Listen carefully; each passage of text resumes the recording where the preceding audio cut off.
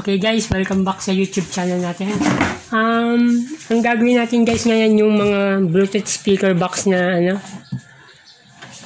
Yan yung mga China. Ito yung may trolley. Oh, para ka mag-abroad. Yan. Ang sira nito guys, ah, yan, ano natin. Low power siya. Um, check natin yung charging. Kung gagana.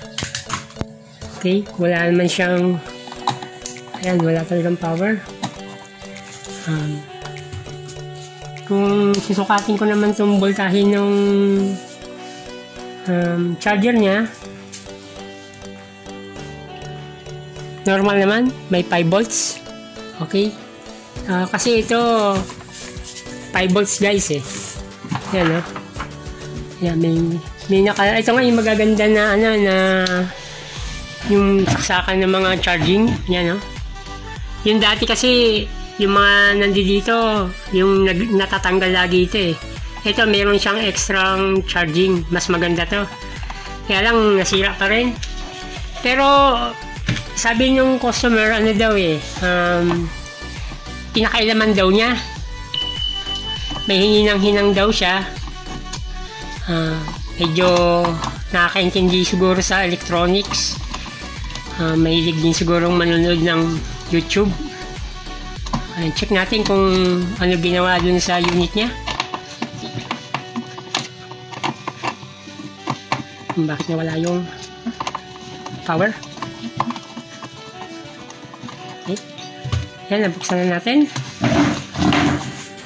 Ito pala yung model niya, KTS 1125 na. Okay, yung mga China eh maliit. Ayun, ito pala yung hininang niya sinasabi. Ito, ito. Paki-zoom nga dito na. Yan. Yan. Nako, parang uminawala pang pyesa. Ito din hininang niya eh, oh. Ito pala hininang. Um, tapos, wala na yung yan, may mga pyesang wala. Tingnan natin kung pwede natin gawan paraan. Um, tingnan natin kung voltahe, kung ano nangyari. May baterya naman siya dito. Tingnan natin mismo sa baterya kung meron. Kung may supply. Dito. Ito yung baterya niya, yun. May baterya siya, dalawa. Okay. Yan yung dalawang baterya. Tapos ito yung contact. Tingnan natin kung may voltahe yung baterya. Oh, wala talaga guys. Ngayon, subukan natin tanggalin yung baterya. Okay. Tingnan natin kung may voltahe. Meron naman, kaya lang ano, 1.2 volts na lang. Yan. Yan na, may, may supply yung baterya. Yan, 1.3. Yan, meron pa, 1.3. So, umabot pa 1.4, no?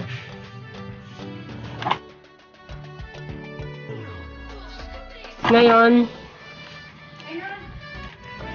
um, subukan natin mag-DC voltage muna tayo. Dahil okay naman yung charging nito, tingnan natin kung may lalabas na voltahe. Okay? Tingnan natin kung may lalabas dito. Ito yung kanyang negative. Ito yung kanyang positive. Okay, may supply naman, no? Kita ba? May supply, oh. May 5 volts. Okay? Pero wala pa rin power, no? Um, malamang dito, talagang dito sa charging IC siya may problema. Um, tingnan natin dito kung meron. Wala, wala, ano? Um, hinang-hinang na tong IC. Um, dahil may kuryente naman dito, check natin sa ohms naman tayo. Raise tayo ng ohms. Tapos, ang buzzer. Tingnan natin kung may shorted. Baka may shorted naman. Um,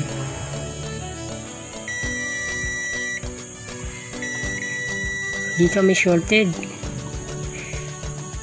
Dito sa kabila. Reverse natin yung ano. Ito yung kabitan ng battery guys. Yung tinanggal ko. Ah, may shorted dito guys. Dito sa mismong connection ng baterya. Um, dahil um, itong IC itong IC um, malamang nito may nagdikit parang may nag short short na ano yun na hinang gawin na lang natin to yung pinagbabawal na technique no? Kasi wala na rin yung mga parts eh. Yun no mga wala ng parts. Hindi na rin natin to mapapagana dahil hindi rin naman natin alam kung anong value yan kasi mga disposable na yung pyesa no? Um, gawin lang natin dito um, tanggalin na lang natin muna yung IC tingnan natin kung ano nangyari din sa IC okay. Tanggalin natin yung IC okay hinangin ko muna itong IC tapos tanggalin ko.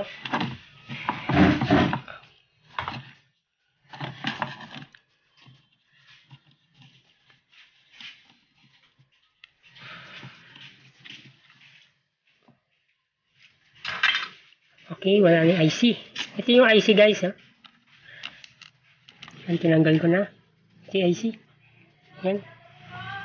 Okay, tinanggal ko muna yung IC. Ngayon wala na yung um, IC. Check natin kung nawala din yung shorted dun sa ano sa kanyang dito yung papuntang load ng battery. Yan yung mismong load. Okay. Yun, nawala yung shorted. Yan, nawala. Okay. Yan, nawawala ha. Uh, ibig sabihin, yung IC yung shorted, ano? Check natin kung gagana na siya. Kung po pwede na siyang gagana. Pero wala pa rin, ano? Kasi yung gamit ng IC na tinanggal natin, yan, yung tinanggal nating IC, ano to eh, um, charging IC to eh, para maka-charge dito sa baterya. Dito sa baterya ba nito? Yan. Yan yung para mag-charge siya. Ngayon kung wala tong IC na to, hindi siya magcha-charge.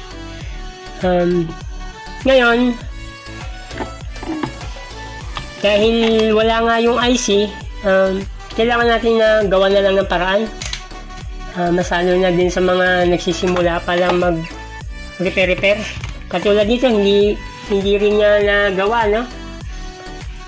Um, ang gagawin natin dito, dahil may problema nga talaga yung charging IC, um, hanap muna ako ng parts na ay, ito, ito. Yan. Yung diode na ganito, yan yung ikakabit lang natin dito. Katumbas yung IC na to. Yan. Kaya mas malaki yung ginamit kong diode um, dahil dalawa yung baterya. Yan, susubukan natin, ha. Pagka isang baterya lang, pwede na yung medyo mas maliit pa dito. Pero pag dalawang ganito, ang baterya, ito, ito, pakita mo nga to. Yan, yung dalawang baterya. Um, mas mataas kasi yung amperes niyan kasi nakaparallel siya. Ang gagamitin nating diode ganito kasi umiinit pagka yung maliit lang. Um, ito yung gagamitin natin. Okay, ang pagtatap nito guys, uh, dito. Ito yung positive. Ayan, sukatin natin para makita nyo. Para makasunod yung mga nag nagsisimula pa lang. Okay. okay. Bali, ito yung ground. Yan. Um, dito yung ground yan natin. Okay. Yan na, may supply. Pakita mo dito, ano? Yan, no? Yan, no? Yan, yung yung may supply na yan, Um, bali dito yon Yan, dito yung, ito yung baterya. Ito yung baterya. Di ba? Yan yung baterya. Ngayon, dito sa mismong 5 volts, yan, yung 5 volts na yan, Diyan tayo magkatap yung diode. Yung sa positive tayo magkatap doon. Yan, diyan tayo magkatap ng positive. Yan, isang pyesa lang gagamitin natin. Ang katumbas ng IC na yan. Okay, um, hihinangin ko muna. Hinangin natin itong diode. Okay. Yung positive muna ang hinangin natin. Yan. Itatap natin dito sa Tap tayo dito.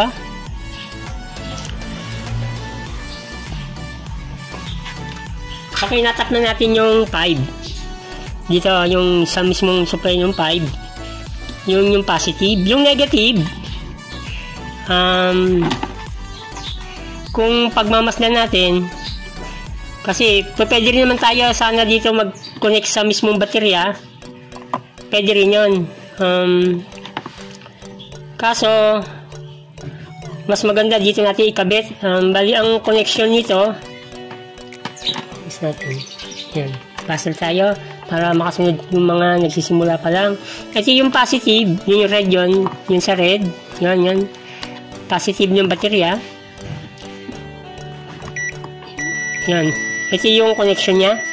Yun, dun galing yun papuntang sa switch nung ito, volume switch yan. May switch yun eh oh. okay?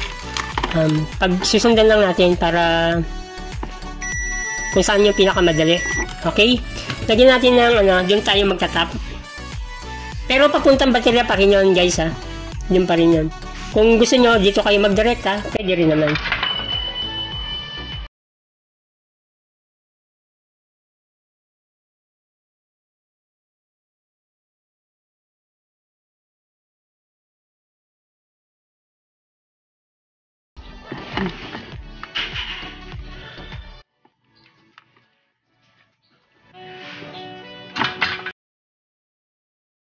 Pakita mga.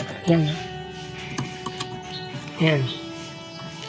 Ngayon, dito siya galing. Papa, papasok siya dito sa baterya. Ngayon, check natin ha, kung gagana na. Kahit na ganito lang yung ginawa natin. Kahit hindi mo na natin kabit yung baterya. Okay. On natin. Yun, gumana. Gumana, oh. Huh? Gumana na.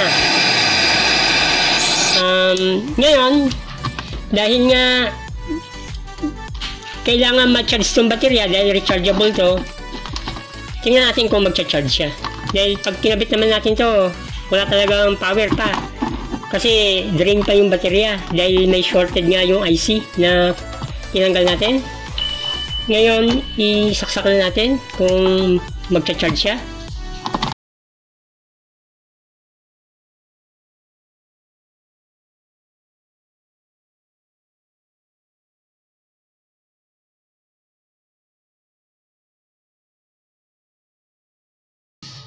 Nag-on na siya.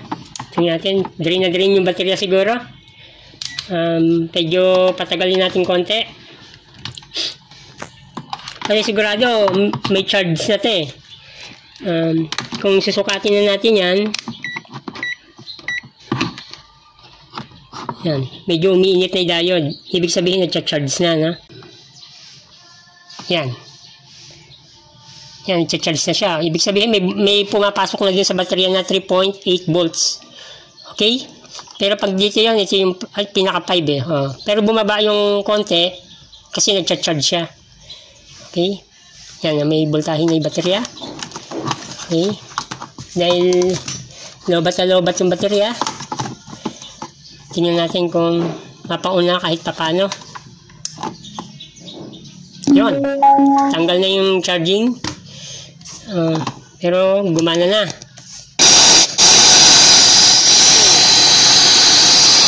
Ibig sabihin, yung pesang tinanggal natin, ubra rin yung diode. Diode lang.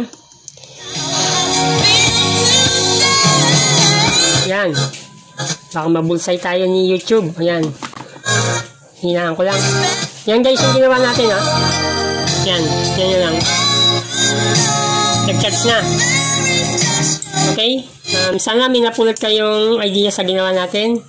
Um, salamat po sa inyo. Thank you po.